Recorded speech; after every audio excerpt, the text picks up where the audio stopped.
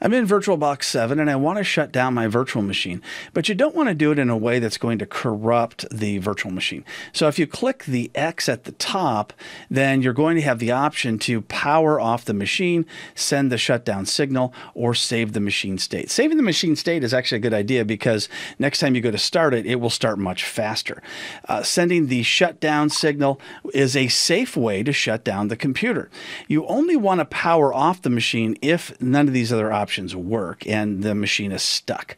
Uh, but if you tend to do this otherwise, then uh, you know if the machine is running fine and, and you can normally shut it down using the shutdown signal, then by pressing this option, it's the same as unplugging the computer, which if you do enough times, sometimes even after just one time, then you can cause damage to the operating system and it may not boot.